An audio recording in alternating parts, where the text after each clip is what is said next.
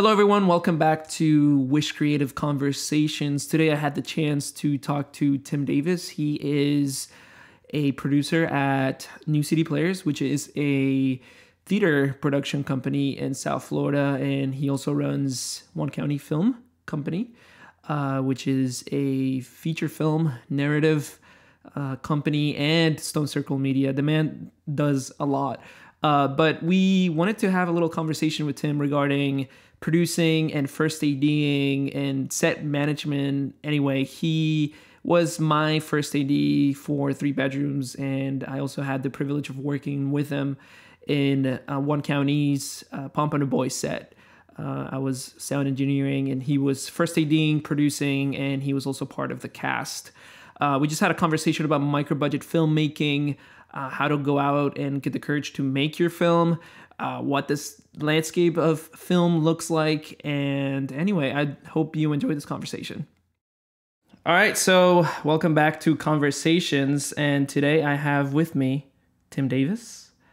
Tim, you Jose. you do a lot. I, I wanted to give like I wanted I was writing a nice introduction about who you are, but I feel like you do a lot. so why don't you explain all the ten companies you own and all the things you do?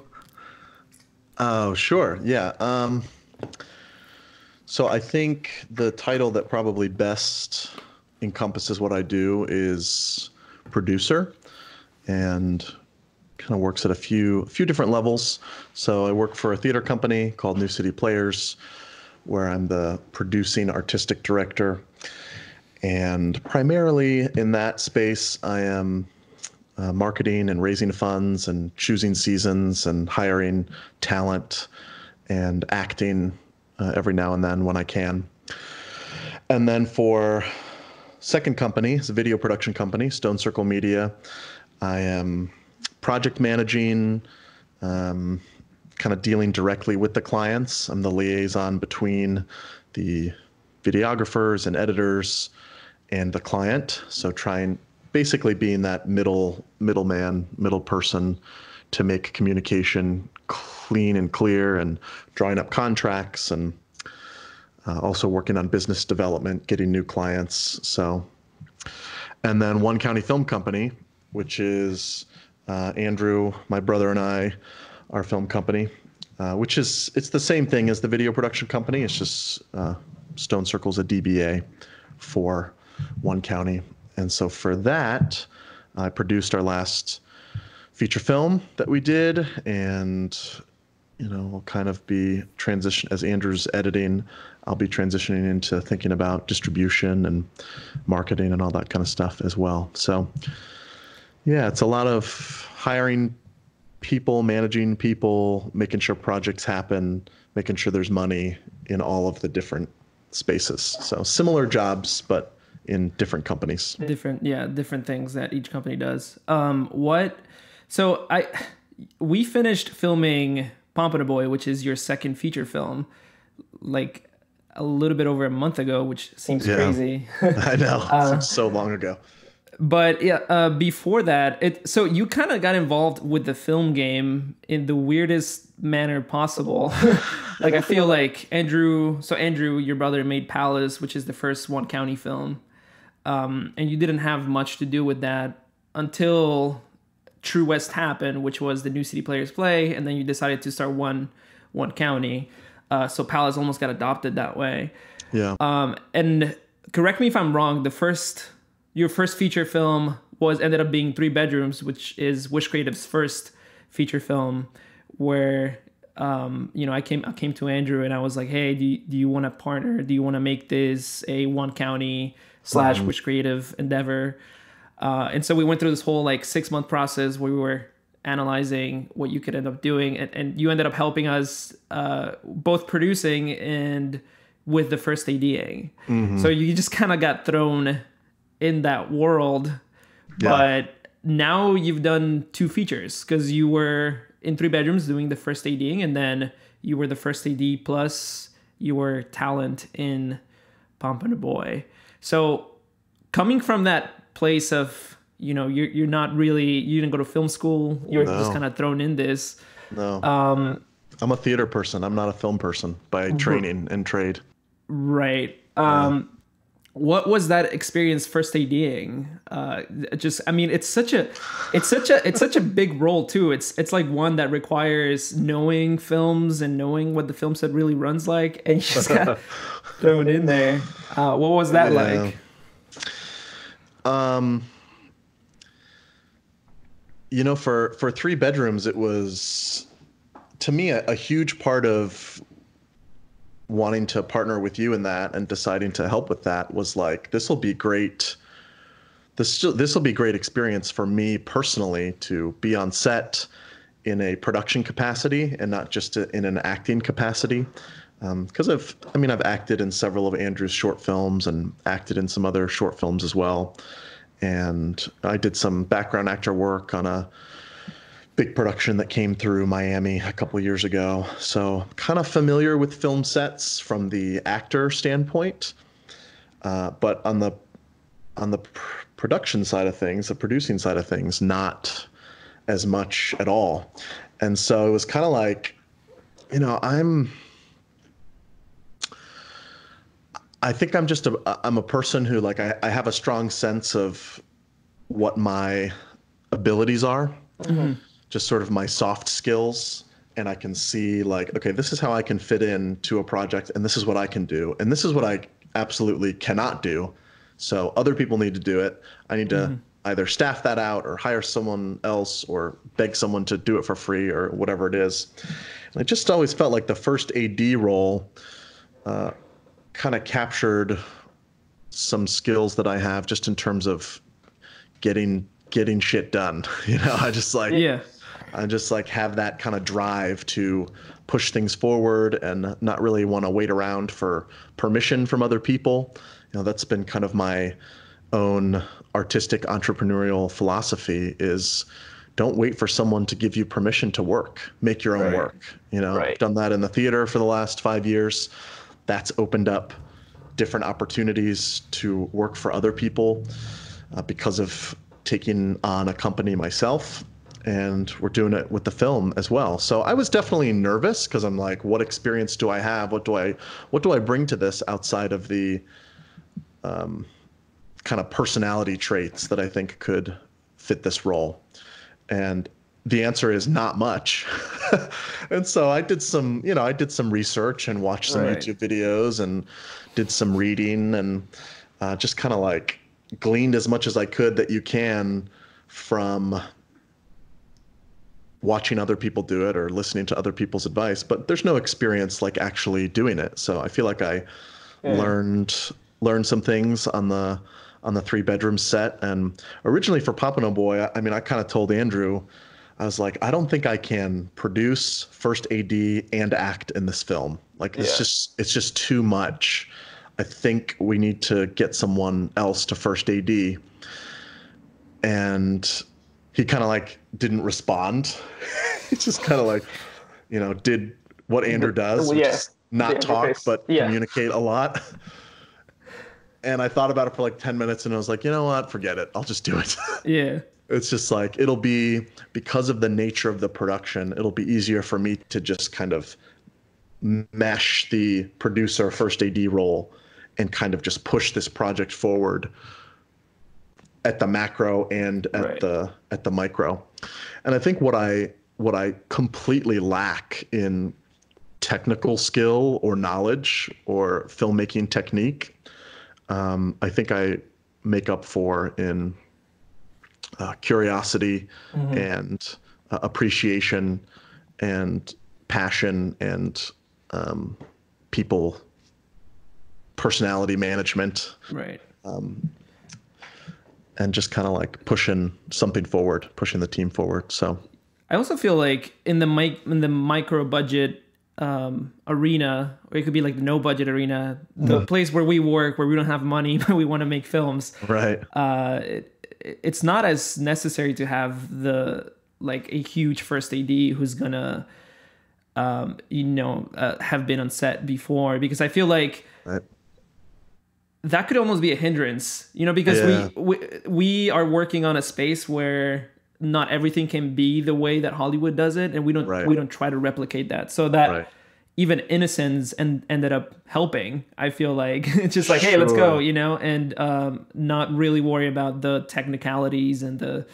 Even though you know with with SAG we did have to like keep a schedule and all these things, just Right. meeting those guidelines I think helped. So um, so yeah, that's really interesting that uh, you were first ADing out of the get go.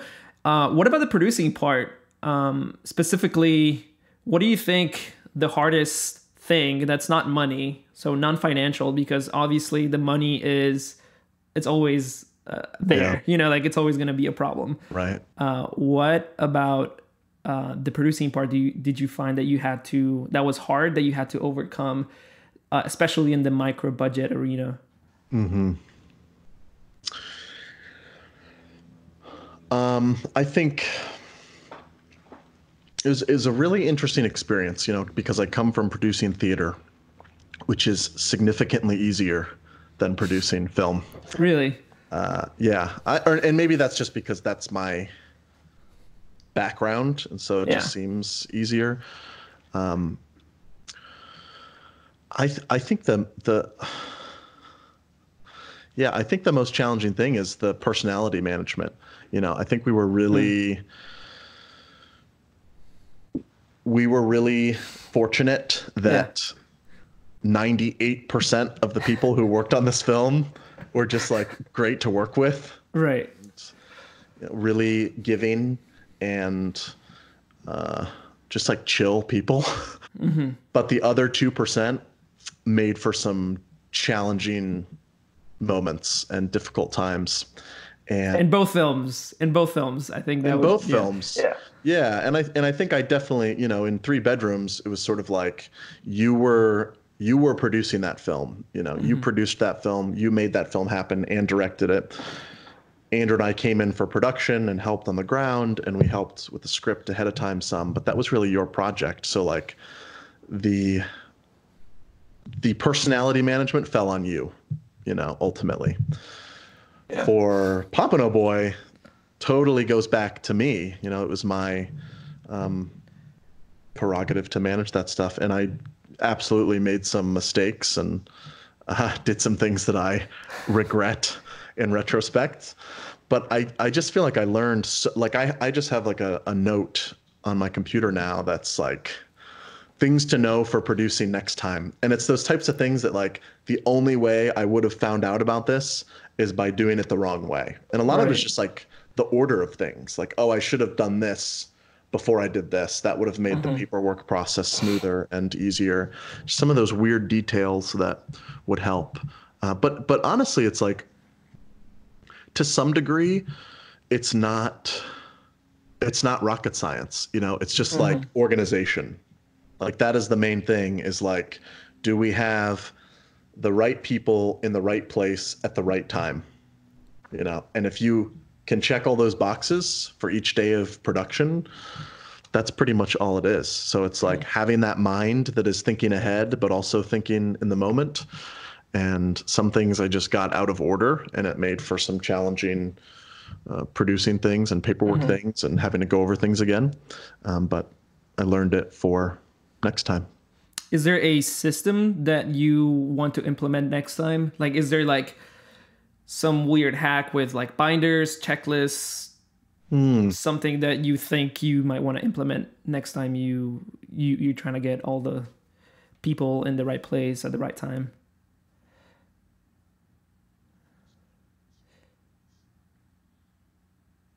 Mm-hmm.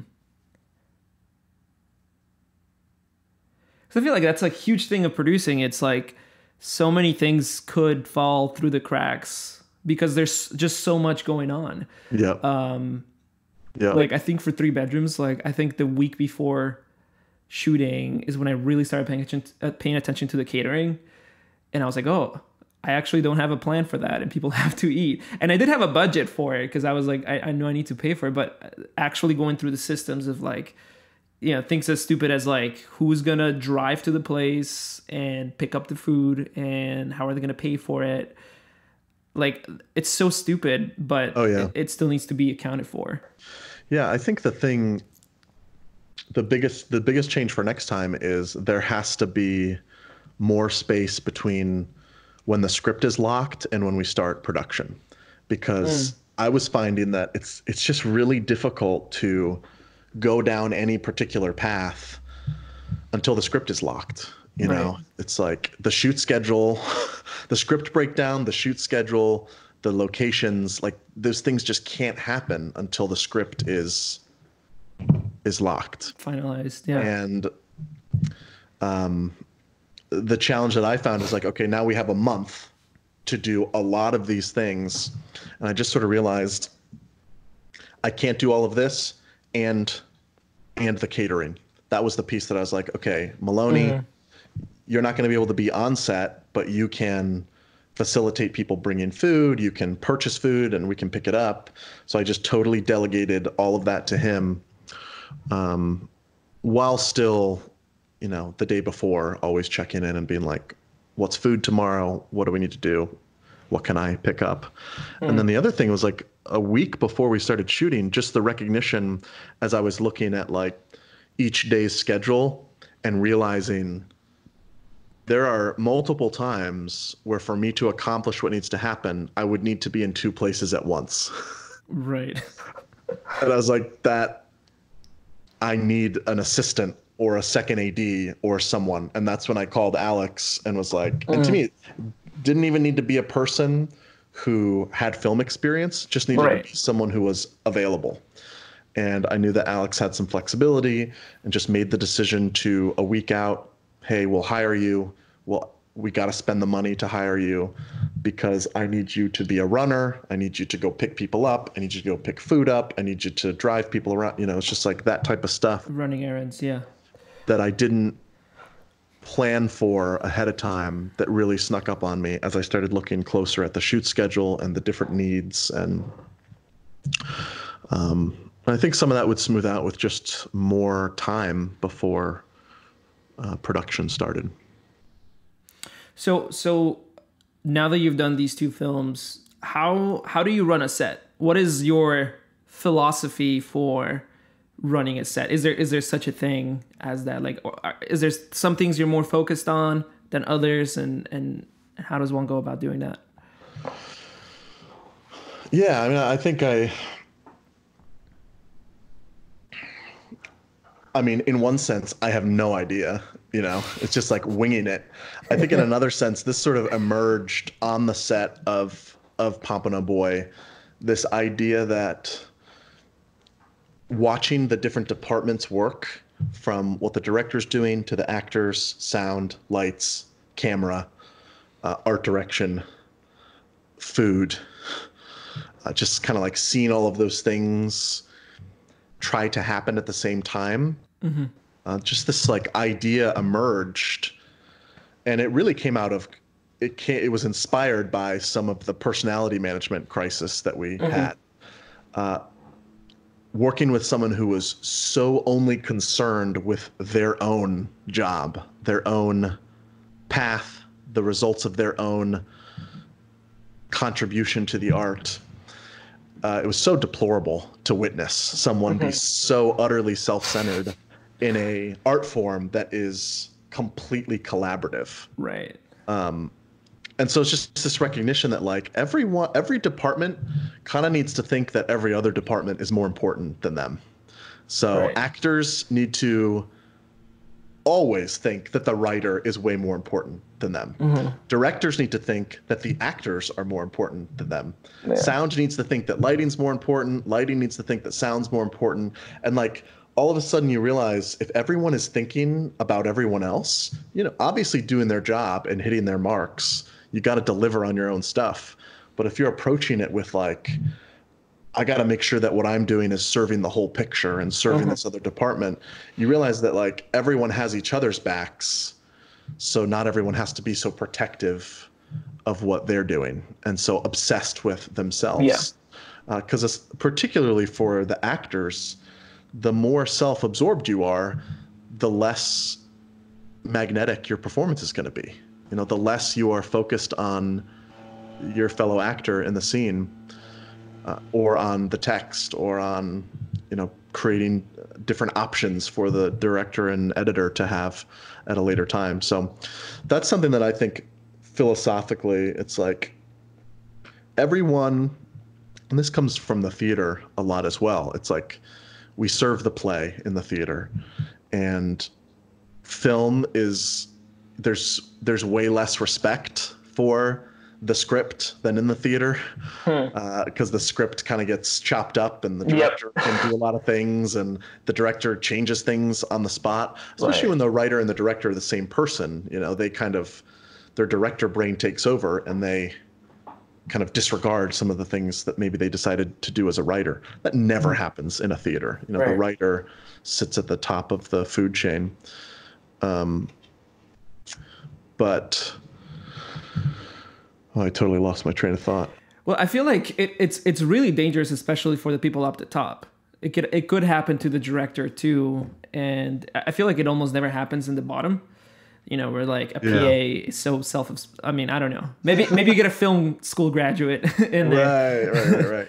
but um, it, it is a, a dangerous thing. I, I also witnessed that on my you know my own set where it, it's just weird where the people who perform the best are the ones who are thinking of themselves the least Yep. Um, and so having that humility, I think, plays a huge part. So, would you say like for hiring from now on, it's like almost 100%, not 100%, but really looking at personality as opposed to looking at talent? Is that something that you're really going to be wary of um, in the future? Because like that's something that I'm like starting to really think. It's like yeah. bringing strangers or people you don't know, you can't really, you don't know how they work Right. Uh, that's like a, it, it could be a, a, a stumbling block. Right. Definitely. Yeah. I mean, I think that's a huge, that is a huge part of kind of maturing as a, a professional, especially someone who's leading projects. And I've had the same problems in the theater before where it's like, oh, I should have done some, I should have done some research and some digging on this person before I hired them. Um, so I, I definitely think moving forward, um, again, it's a time. It's always a time thing. You know, it's like, am I going to take mm-hmm. the extra thirty minutes to find people who this person has worked with and track mm. down their contact information and call them or email them and be like, and then it's also like, who's to say that someone they've worked with before isn't terrible? Right. You know? So there's always this like game that you play uh, and you're taking a risk when you're bringing on someone who you don't know. And I think also an interview process might be something to be incorporated as well. You know, every other job has an interview process. Mm-hmm. Uh, uh, Elia Kazan didn't even have auditions. He would just take actors to coffee for three hours and talk to them, and then decide if he wanted to hire them.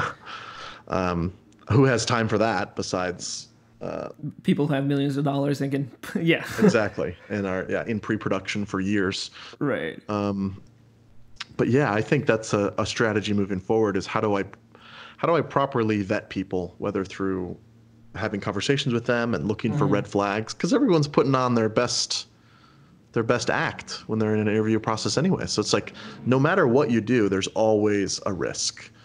Right. uh, i almost think it's connected with the work on the front end is having a contingency plan for all right if this person totally blows up the set or totally bombs or totally mm. tanks mm. do i have a backup plan that i could pivot to in a couple hours or in 12 hours uh, and sometimes at the mic at our level you just don't you know like it's just not possible to cover all those bases and you really are taking a risk of we're going to make this thing we're going to make this thing and hope that no one is a disaster. Right. Because if they are it could tank the whole project.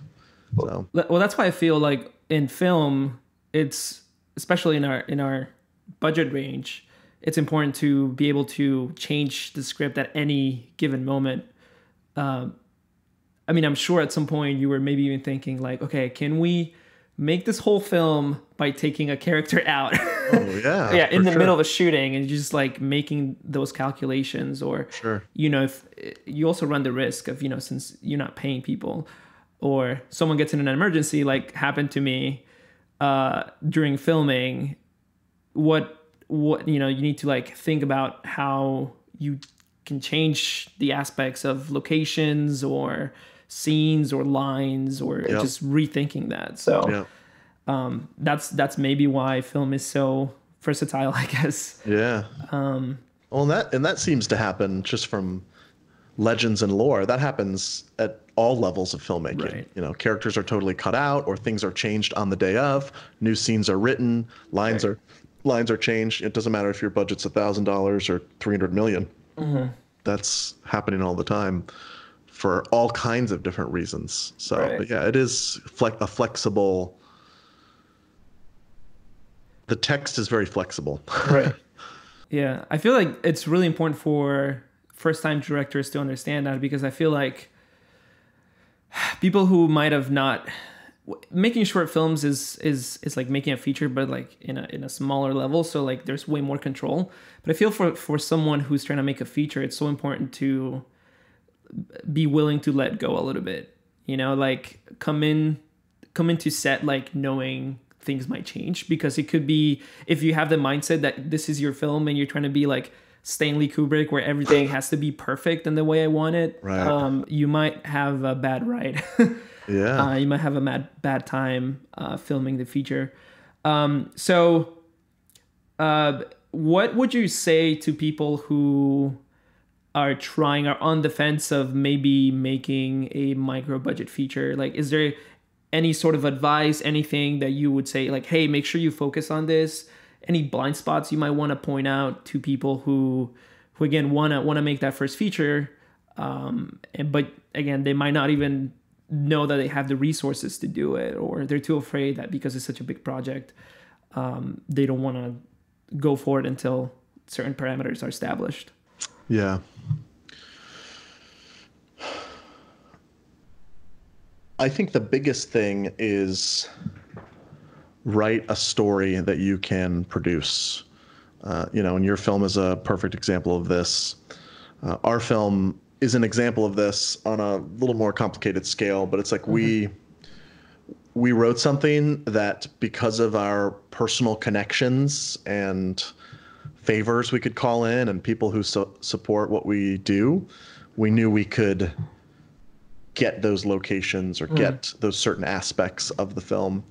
Um, if you really want to make a film, then write a film that you can make. You know, don't write something that is going to require 50 grand in VFX or right you know you got to be on a cruise ship for half of the movie or you know write write something that you can actually produce even if it is like in one house the whole time and it's 70 80 minutes um, do it if you want to make a film. Um, if you're if that's like below you and you're trying to like work up the ladder or you know you don't want to make you don't want to make a film until you can make your five you know half a million dollar film or your two million dollar film uh, then i would say i don't know it seems like the short film ladder then Yeah. try, trying to like make that short film that's ten thousand dollars and or thirty thousand dollars and it's like your proof of concept for the bigger film.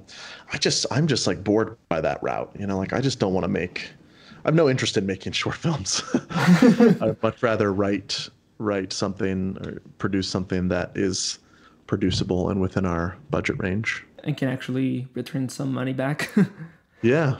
Yeah Yeah, exactly. Yeah. I, yeah, I've been having that conversation with myself lately. Um, because a year ago I was like, only make features. Now I'm like, kind of want to make a short just because making a feature is such a big commitment. So maybe like, I think uh, even Andrew did that with uh, Honey River. Like right after shooting Palace, he was like, yeah. I want to make a, a short. Um, but yeah, I, I I do agree that shorts are marketing material. They are uh, they're they're they're meant I think for you to learn. That's why like so many uh, film students are going the short film route because you have to start small. But uh, the big the big thing like your uh, the thing that you want out out there in festivals and you want to make money is going to be a feature film. But I, I like I totally agree with you that it's about seeing what you have and then writing from there. Um, it's gonna make your life so much easier. And I like I I suggest like if that being your first one gives you the whole experience. Like now that we have feature films under our belt, we have more of a we're more prone to actually go out and uh and, and, and maybe like up the up the game you know if we want to like raise the budget or do something a little bit more interesting. At least we feel confident that we've had the experience Yeah. uh, to actually go ahead and and and jump on a little big bigger set. Um cool. So uh where what's gonna happen with pompano boy? Where can people find you? Uh and and yeah if people want to check out one county uh new city players and even people who might be listening to this who have a business and you know might want to jump on a on a video uh where, where can we find you so many places. Uh, I would say, I mean, you can you can email me at tim at onecountyfilm.com.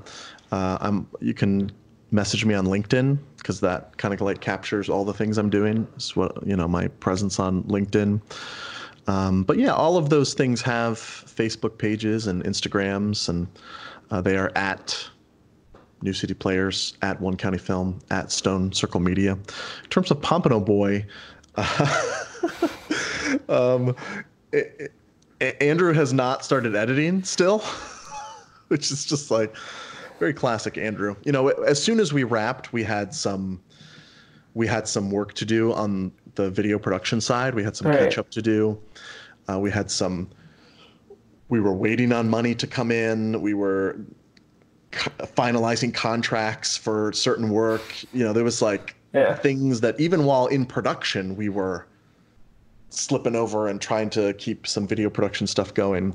Uh, but we had some catch up to do as soon as we wrapped. And so we've kind of just gotten over that hump in the last week where we are um, current and we've paid everyone who worked on the film and we had some money come in from stuff and you know sort of cash flow is stabilized. And we hired a part-time editor to, to help bear some of the the work the workflow that was coming in. And so now that that has happened i'm kind of like all right andrew you know like are you going to edit this thing or not? Because i think part of him is just know i think this project took a toll on both of us in a Yeah. in a lot of different ways just personally professionally you know, there are aspects of it that were just totally demoralizing are so encouraging. Uh, a big part of it just being the team that we worked with. You know, you, Right. you and Abby and Chris, Chris and Jay and Joe and Alex and just like the the production team. yeah Uh, it was just like a really easy, fun experience. You know, everyone did their job, everyone got along. It's like I'm really thankful for that. But it was like so, it was so hard. yeah Uh, it was so hard, and it was, you know, that month leading up to the film and the month of the film. It just feels like the hardest I've worked in my entire life. Um, so it's not easy making films is not an easy thing it's not easy at all. It's not easy at all, especially especially just the more you know, the more actors you have, the more locations you have, the more anytime you add a a dimension, it just creates more work and it costs more money. So yeah, the, the budget for this film was bigger than our first feature film, uh, so we're dealing with with more money and. So I think a, a, almost a time of healing was required after production yeah to stabilize the company financially and kind of get back into a groove with the video production stuff, um, but also just to have some separation from the project so that it could sit and we could Yeah. be re-inspired to uh, get back into it. yeah Uh, I feel that way. I'm not going to speak for Andrew. I hope he is feeling re-inspired to get back into it from the editing standpoint. I think he does. I, I saw him because we were shooting uh, a little video project, and I was like, "So, have you started editing?" And he was like, "No," and I was like, "That's probably good. like, I just just take a little bit of time off, Yeah. uh, as long as it gets done at some point." I do like I literally like there's um, my at someone at Biola at my old film school. uh, shot a feature film, and I think it was maybe like 2015, 2014. It was like January of 2015, and to this day, the, that film is not done. Um, the fact that they spent like, and their budget was not even, it was higher than yours. Yeah. Um, and the thing, I think the thing looks good. I mean, they used the reds and they had the whole Yeah. film school backing them. And to this day, like I think they're still asking money for product for post. Um, I just think that's a little bit ridiculous. I feel like, No, that's that is not happening. You know, at Yeah. some point the producer hat comes on, and Yeah. I'm like, uh, do we need to hire someone to edit this, or I, you know, I don't know. Um, Mm-hmm. You know, it's it's Andrew's. It's it's Andrew's baby. Uh, it's definitely our film. You know, just in terms of how we approached it and Mm-hmm. um, divided up the work. But he is the pri- the primary writer and director, and you know, he's got to dig up the oomph to to get it done or Right. we'll we'll figure out a way to get it done but yeah this like waiting for multiple years that is not Hmm. it's not happening i can't roll like that so boring okay. So last question would be for the next feature, are you going up in budget or down in budget? i think down in budget Really? What's what? Why is that? um Not that I disagree with it. Like I think Yeah. I- you you can always do either, and I feel like with me, uh, my my budget was super low, and I have like I'm writing like two scripts right now, and one is higher and one is lower. Yeah. It's just very tempting to go to the lower side for a little bit, you know. and we have similar similar concepts where one of the films is a higher budget and one of the films would be a lower budget um, just ideas you know nothing is written yet and i just kind of feel like the it's it's kind of like the i i want to get another feature under our belt before going to the even higher budget. Because you never really know and and oh, that's almost to me more of a distribution strategy mm-hmm. than like a production strategy.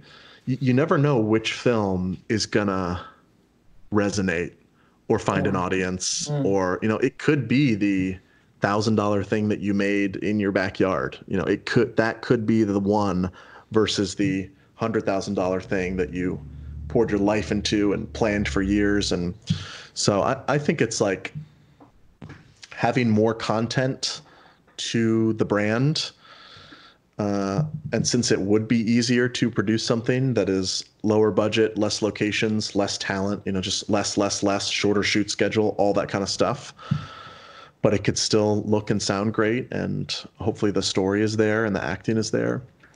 Um, that could be the film that takes your production company brand to the to the next level um, and more experience, opportunity to work with a team, meet new people who may be helpful on the on the larger film. So, yeah, I think it's something to be said for thinking in both ways. You know, like how do we how do we grow? How do we do tell stories that are more complex and require more money because of that? And then how do we keep our how do we keep our indiness for lack of a better term how do we stay scrappy and stay uh, in that mindset of let's write for what we have write for what we can produce write for the space we're in uh, and pump it out in 10 days or you know whatever Yeah. I feel like even looking at it as a consumer, the, the budget is completely irrelevant. You know, like it doesn't matter Totally. where you, you know, buster your butt to raise uh, like six digits or whatever, um, versus like you know doing it for like a thousand dollars. Because I, I think at the end of the day, it really comes down to the film. Um, and I think with that budget range, the quality of like a you know like a ten thousand dollar feature and a hundred thousand dollar feature is not that different. Like it's not you're not bringing the grip truck yet, you know, just because you have such a small budget. right So it's like, if the story is king, why don't we write something that we can really pump out, but really focus on the story? Yep. Uh, and I feel like I feel like that might be where I'm at right now, where hey, let's write something that's really doable. And I feel like again because you have so many restrictions, you know, if you say you're gonna make a film in your backyard, your your mind starts pumping ideas so much faster because again it's a backyard like you have to figure out exactly what it's going to be and i feel like it, it could almost make it better uh, and it, it restricts you from bringing like a crazy amount of production into it mm-hmm. Yeah money money is is an out sometimes you know it's like well we could just add this and you know it'll cost x amount but it makes this writing it makes writing this moment easier whereas maybe what you really need is more restrictions mm-hmm. to really force your creativity to come out to play. Um, you know, and every writer talks about that having guardrails, having a sandbox to play in, and you can't go out of the sandbox. You have to use the toys that are in there. You have to use the sand that's in there. So, yeah, I think that's a huge part of what the space that we're in and what we're trying to do is keeping story at the forefront and always trying to get better at doing that, trying to get better at telling stories and writing stories and using those restraints as a positive rather than rather than as a negative. Cool. Well, thanks for doing this. You're the first yeah, of man. many. I'm trying to get a lot of filmmakers in awesome. here to kind of speak into this and uh, just really get people to make films.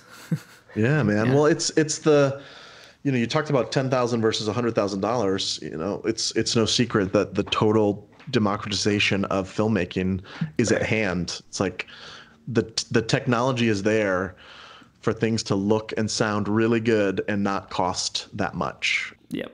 So, you know, part of that is now there's a huge influx of content and right. Sundance is getting is it like 14 15,000 it's something crazy. It's like yeah. out of control. So it's this weird thing of like, oh, now you can actually make something, but the chances of it rising to the top are are more slim. But the micro budget indie space is not the only space dealing with that. You know, mm-hmm. Hollywood is having the same problem where it's like the value of their products because of mm-hmm. streaming services is plummeting. You know, mm-hmm. a movie is no longer a $10 DVD or a $20 Blu-ray or a 7.99 iTunes rental or purchase. Now it's bundled in. So many of them are bundled into your 10 bucks a month. It's just like what the the whole it's a bubble that's going to burst. You know, the whole thing is just like imploding. And I would rather be on the sidelines like we are mm-hmm. and kind of like we're not on the field, you know. We're right. kind of like off in the we're off in the uh in the batting cages warming up and kind of like getting ready to play. Yeah. But at some point, everyone on the field is just gonna like die and something's explode, gonna happen. and something's, something's gonna, happen. gonna happen. And I want to be there with like, hey, we made five films mm. at this price. Like, yeah. come on. So yeah. rather it, than like, I can make a movie even though we haven't made one. You know. Yeah. No, you have to. Yeah, you have to have that real. I guess not. It's not real, but uh, those films under your belt. And yeah, the industry's so weird right now. Where uh, I don't know if you heard about Distribber. Oh yeah, um, and Tugg. So, and Tugg. Uh, all oh, these, yeah, it's a disaster. all, all these companies that were supposed to be for the filmmakers who had barely anything to do. Like their job was so simple, and, and now filmmakers are getting screwed up, and uh, the whole shifting of the internet, you know, versus going to theater. I, I just feel like everything is I'm in a room where everything is floating and I'm just waiting to see where everything is going to land. Yep. Um, but in the meantime, make something. Right. I mean, I think the again, if you keep your budget low, the ROI is so much like you can always make money uh, if you keep your budget as low as possible. Uh-huh. Um, so you know, if you feel like you're not confident where the industry is, just know that if you don't spend that much money and you get a film at the end, um, I think you're gonna come out the winning end. Yeah. Because I mean, how could how could you lose uh, right. if you keep that formula uh, like that? So, all right, man. Thanks for thanks for thanks for coming and and doing this. Appreciate it. If you enjoyed this video, make sure you do all the YouTube things. You subscribe, like, comment, and share with someone who you think will benefit from this information. Additionally, if you are looking to make your first film but you don't know where to start, I have a little course uh, where I go through everything from getting an idea all the way through post production and finishing your project. So make sure you check that out. I'll leave the link down below. Thank you.